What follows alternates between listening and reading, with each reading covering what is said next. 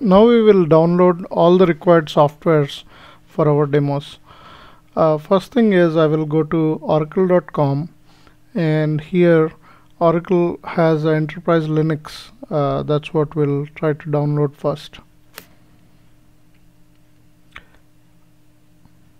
At oracle.com under downloads we'll go to Linux and Oracle VM. We have to sign in and accept the license agreements. We'll look for Oracle Linux for a x86 32-bit platform and from the result set we'll look for Oracle Release 5 Update 6.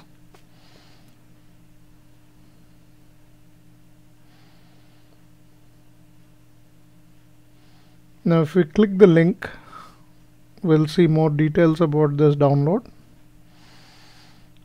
We'll download the uh, CD image uh, we don't need the source so we just download this and unzip and burn the ISO image onto a DVD. Next thing we'll download is the Oracle database and the grid infrastructure softwares.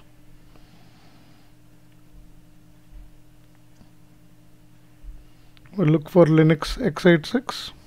Click on see all files and here we're looking at 11g release 2 and here is the grid infrastructure software. This is a one zip file download. So we'll download this file. Next thing we'll look for is the database software which is two parts uh, and we'll download both the database parts two zip files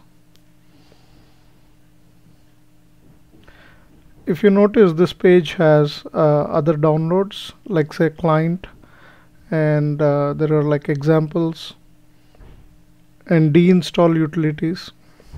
Now we'll go back uh, to the oracle.com and go to the search. We are looking for ASM library. So type ASM lib and search. We'll go to the ASM lib kernel driver page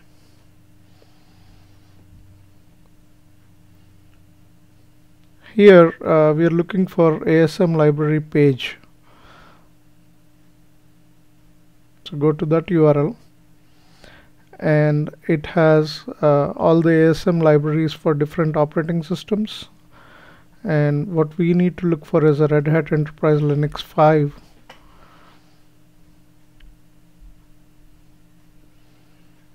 under that uh, we'll be looking for ASM li library 2.0 for Red Hat Linux 5.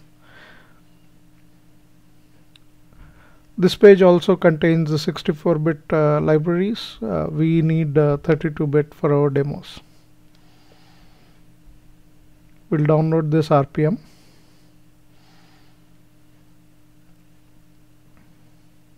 It has uh, libraries for other operating systems and other versions if you notice on this page. Next software we need is OpenFiler and OpenFiler is a, a, operating system which can provide us with the SAN storage. So just going to openfiler.com and go to the download page. There are two releases right now. Uh, we are looking for 2.3 release for x86